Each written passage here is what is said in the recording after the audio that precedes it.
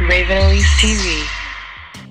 Hey guys, what's up? It's Raven and today I'm here with a fashion DIY video, kind of a thrift store revamp video. This is actually going to be a series of three videos. So after you watch this video, make sure you check out the other two that are very similar but different projects. So for this video, I'm going to be showing you guys how I made this hoodie that I'm wearing right now. It is a DIY lace up front hoodie. This v-neck lace-up thing is really on trend right now. I've seen it done in so many different ways, so many different stores, some expensive, you know, crazy stuff, but I wanted to kind of try it for myself. I distressed it and I added the lace-up detail in the front and I just did it on a thrifted hoodie. So if you are interested in seeing how I made this, then just keep on watching. Okay guys, so the first thing that I did was I went to the thrift store to get the base clothing items that I wanted to use. And like I said, this is a three-part series of videos, so I went ahead and thrifted all the stuff that I was going to be needing for all of the DIYs. Like I said, don't forget to check out the other DIYs. I will have them linked.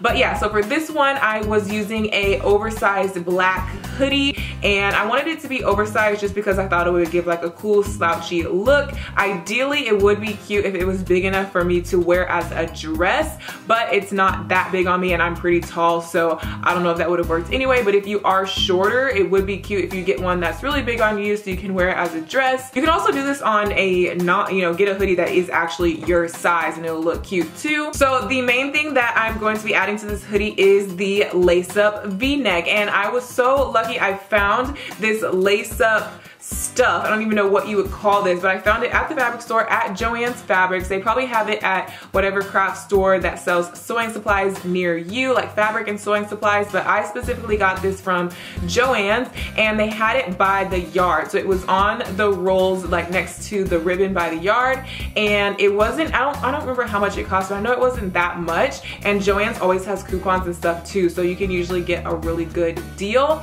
But yeah, it's basically like this stuff like it's like the same thing that you see on all the like lace up clothes now. It's got the the black you know I don't even know what you would call this stuff and then it's got the gold grommets already on there for you. So it makes it super easy to do DIY projects with it. So I just bought like a yard of it just so I could do different things. Really just for this one v-neck hoodie you probably only need like half a yard. And so then the first step when you take your hoodie is to just put it on and measure on yourself how you want your v-neck to be. And since this is a hoodie and I wanted to keep the hood intact and kind of give like a different look, I decided to leave the hood attached so you're gonna see where the hood is sewn on. So I'm leaving that there and then I'm just cutting the V below it. And so I just measured on myself, kind of got an idea and marked on myself how I wanted it to be and then lay it down, you know, use a ruler or something so you have straight even lines and then just cut out your V. Really, really simple, nothing special. And then you wanna take your grommet stuff, ribbon, grommet ribbon. I'm just gonna call it grommet ribbon because I don't know what it's really called. But um, you're just gonna take it and lay it out, get the right length. Obviously you need two pieces, one for either side. And I did it to where the bottom grommet kind of crosses over and touches at the point of the V just to make it look neater. And then you're gonna pin that into place and then just sew it on. Now, I know a lot of people are always looking for like no sewing tutorials, like, oh, I can't sew, blah, blah, blah. But you guys, I promise, sewing is really not that hard. I think a lot of people kind of psych themselves out and they think that they can't sew or they can't learn how to sew, but it's actually pretty easy, um, especially for a simple project like this where you just need to do one straight stitch. You can do it by hand with just a needle and thread. It's really, really easy, you guys. Trust me. I will link a video down below on just how to do like a simple straight stitch with the needle and thread in case you don't have a sewing machine. But if you do have a sewing machine, it makes it so much easier to just sew it on with your sewing machine. So what you wanna make sure that you do is just line it up on the edge of your cut and only sew on the outer edge of the grommet ribbon or whatever. You don't wanna sew on the inner edge. You don't wanna sew it to where you can't get to the holes. You wanna make sure that it's hanging off the edge so that you can get through the holes and just sew it on the outer edge of the material right here. That way you can still lace it from the inner part. And then you're pretty much done. After that, I also got this um, lacing, which kind of almost looks like the same lacing that they have inside of the hoodie itself. Um, this little black lacing, I got this from Joann's as well in the same section that I got the actual grommet stuff from.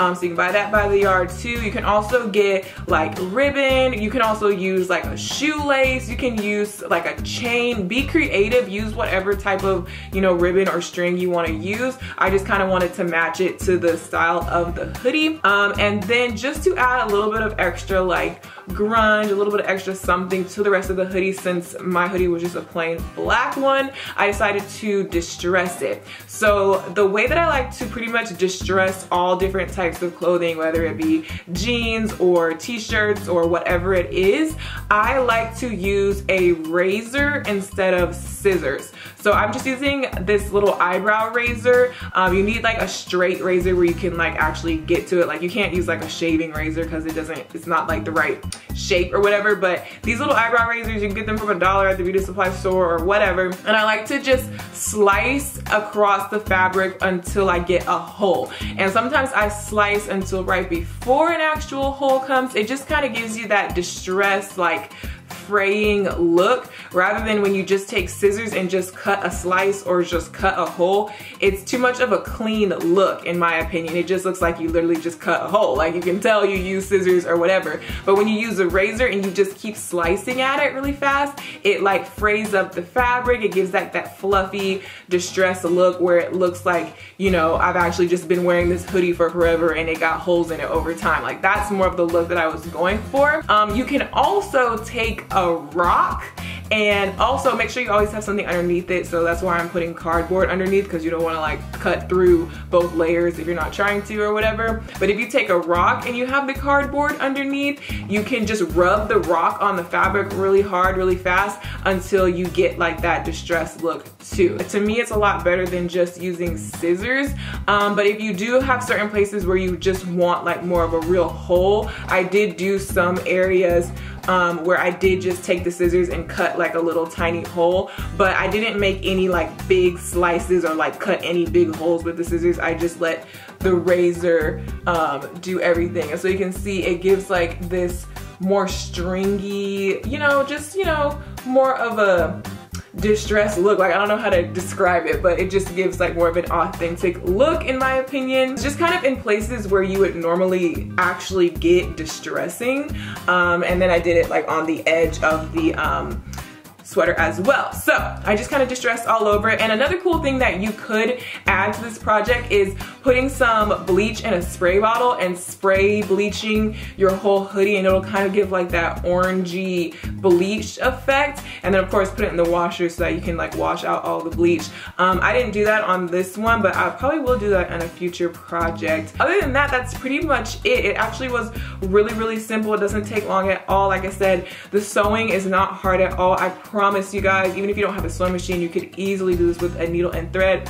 I suppose that if you really, really didn't want to sew, you probably could attach it with some sort of fabric glue or something, I guess. I'm not totally sure. I didn't try it. I just really like to sew because it just makes it like super secure. You know that when you wash it, it's not gonna like pop off or anything. You could do this on a t-shirt. You could take this same idea and apply it to a lot of different things, but I just kind of wanted to do something different by doing it on an actual hoodie and leaving the hood on because that was just kind of something that I hadn't really seen in stores. So yeah, I'm really happy with how it came out. So like I said, guys, don't forget to check out the other two DIYs, lace up DIYs that I made. I will have those videos linked down below. It is going to be some lace up jeans that I'm really, really excited about. And it's going to be a lace up corset t-shirt, which I think is pretty cool too, if I do say so myself. So if you guys like this lace up trend, if you like this style, definitely check out those other two videos. Um, let me know down below if you will be trying this out, if you like it, if it's something that you think you would be able to do. Trust me guys, it's really, really easy.